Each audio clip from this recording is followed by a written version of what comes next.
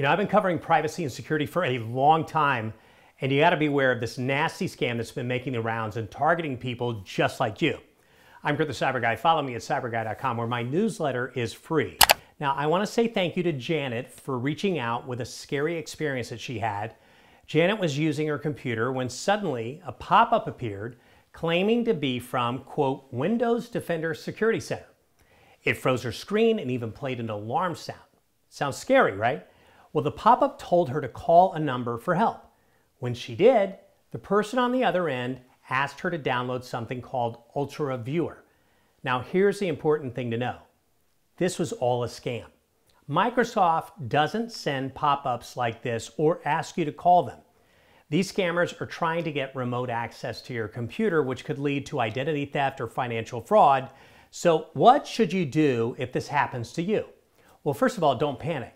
And don't call any numbers or download anything.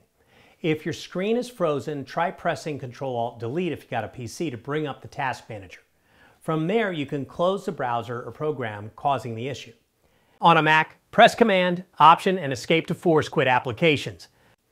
Now next, run a full scan with your antivirus software. Even if you have antivirus installed like Janet did, these scams can sometimes slip through because they're not traditional malware.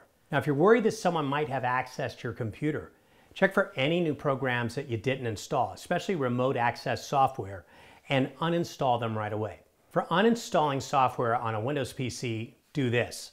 Click the Start button and open Control Panel. Select Uninstall a program under Programs. Find the program you want to uninstall in the list. Click on it and then select Uninstall or Remove. Follow any prompts to complete the uninstallation. To uninstall software on a Mac, follow these steps. Open Finder and go to Applications. Find the app that you want to uninstall. Drag the app icon to the trash or right click and select Move to Trash. Now I know you're thinking what I'm thinking.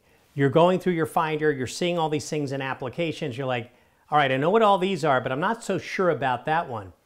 Go ahead and just search on Google or whatever search engine you, you use what that app is, and then maybe the word legit, and you'll get some good information that can help guide you here. Remember, legit tech companies won't directly reach out to you out of the blue about security issues on your computer, especially with a pop up.